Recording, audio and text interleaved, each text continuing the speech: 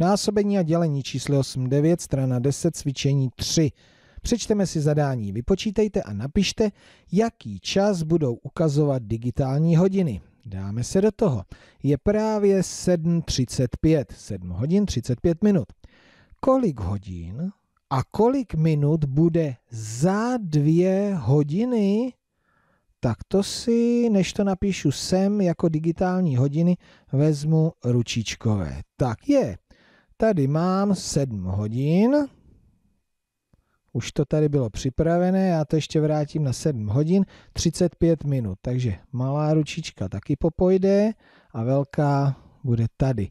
30, 35. Tak, za dvě hodiny.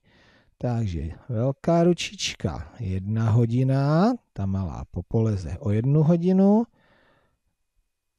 velká ručička druhá hodina, ta popoleze taky. Takže 7 hodin, 8 hodin, 9 hodin, 35 minut. Takže napíšeme, že za dvě hodiny bude 9 hodin, 35 minut. Ono vlastně stačilo přidat dvě hodiny, když to je za dvě hodiny. Kolik hodin a kolik minut bude za dvě hodiny a pět minut? Takže přesně za dvě hodiny bude 9 hodin 35 minut. No a ještě když se k tomu přidá 5 minut, tak už to nebude 35, ale 40. Čili bude to 9 hodin a k tomuhle ještě 5 minut 40 minut. Za kolik hodin a kolik minut bude poledne? Aha, tak to pozor. Poledne, poledne je 12.00.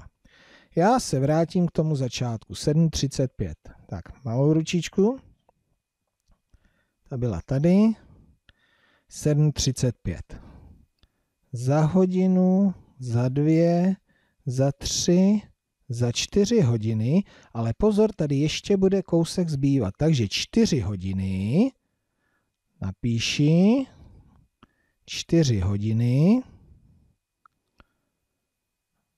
Tak, čtyři hodiny a ještě nějaké minuty. Pět, deset, patnáct, dvacet, dvacet pět a tato tady dojde do toho, do dvanáctky. Dvacet pět, dvacet pět minut. Takže od 7.35 až do poledne bude ještě zbývá 4 hodiny 25 minut. Kolik hodin a kolik minut bylo před hodinou, tak tady to vlastně můžeme udělat jako tady nahoře. Tady stačilo 2 hodiny přidat, takže 7.35, když hodinu uberu, 6.35. 6 hodin, 35 minut. Tak, podíváme se dál. 19.35.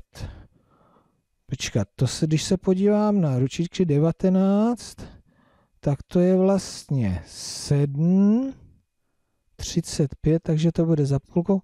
No, teď ono je to vlastně to samé jako předtím.